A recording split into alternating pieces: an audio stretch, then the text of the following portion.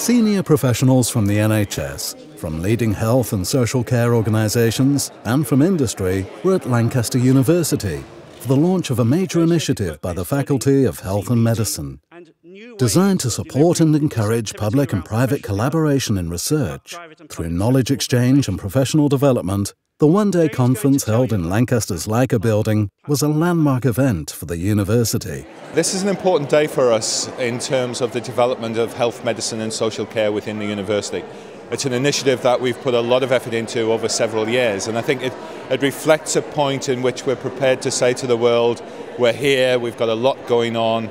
Um, are you interested in what we're doing? And please come and talk to us about what you would like us to do so that we can match the research and teaching agendas in order to really go further than any of us could do as individual components of this collaboration.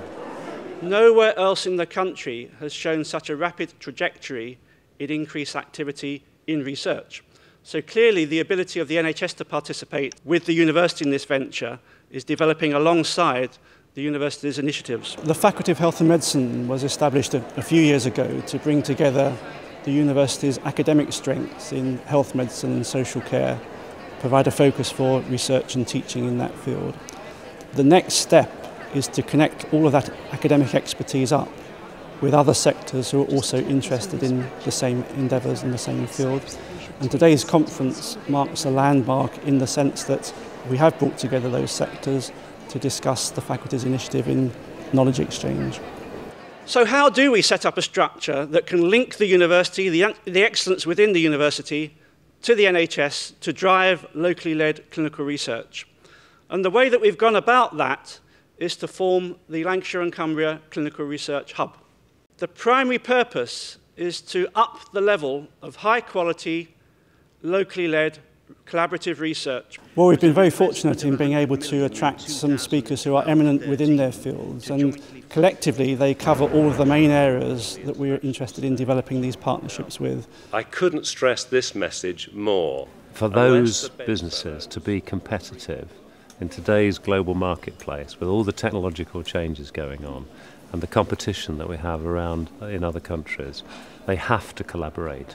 We have to generate a collaborative environment where the three partners, industry, the NHS, and academia, work really closely together. It's important in any collaboration that it's clear what the rules of the game are. Is this essentially a fee for service relationship? Is it a piece of contract research where, for instance, all the IP is very clearly with the company? Or is it a collaboration in which both parties are bringing intellectual input to, to the research? I'm first going to tell you a little bit about Age UK in case you don't Well, know. we already engage with Lancaster University a little bit, but we really need a lot more research collaborations because we try to underpin everything we do with research. So our services and our service development, our influencing of politicians and government, our campaigning to the public, and we don't have access to research that's behind the paywall of academic journals. So we need help in getting access to research and findings, and also we can help researchers disseminate these to the wider public and get them used on the ground. So I can tell you that there's a real appetite from the 21,000 organisations that offer adult social care here in England for working in partnership with colleagues in health. It's about being engaged with the creative talents at the university because what we what I really want to gain with the university is their creativity, their originality, and in essence, their, their different ways of thinking. You know, you, you are not constrained at this university. You have um, collaborative activities across the university itself, and it's that that I really want to be able to tap into. Quite a different life experience or job experience. Statistics can operate at either I think end. today's been great fun, for one thing, and already I've overheard conversations from, from people saying, oh, we must follow up, we must uh, pursue that, that idea.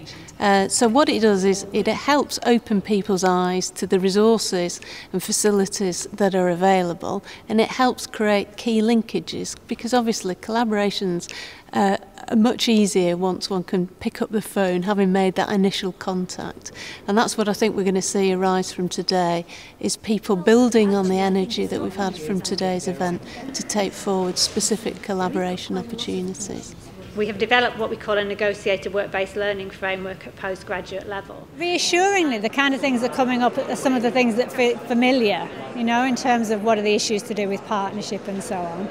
And there seem to be common themes coming out in terms of what the issues are, but also quite, you know, a lot of enthusiasm and commitment and people really wanting to work with different agencies and move things on. So that it feels really positive. It feels good. Some of the things that have been really helpful for me uh, are to have conversations with colleagues I wouldn't perhaps meet under any other circumstance. And already I walk away today with some partnerships, potential partnerships for the future in place. I think it's an excellent opportunity, not only for me to uh, find out the latest developments across the collaborative partnerships in health, medical, and social care research, but it is also an opportunity to meet with key individuals who may be able to work in collaboration with myself.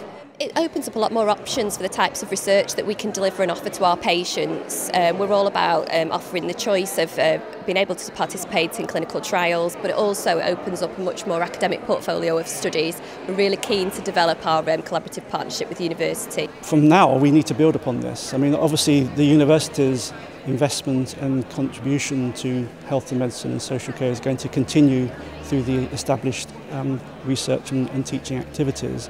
But what we want to really do is take forward now this, the knowledge exchange agenda, working with other sectors, and to plug that in to other things that are happening at regional and national level to make the best of the skills that are, that are within, within the institution.